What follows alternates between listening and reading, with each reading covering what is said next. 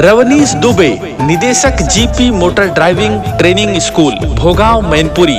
एवं Lakshmi motor driving training school, Bhogaon, Mainpuri की तरफ़ से समस्त मैनपुरी जनपद वासियों एवं देशवासियों को पावन पर्व होली की हार्दिक शुभकामनाएँ।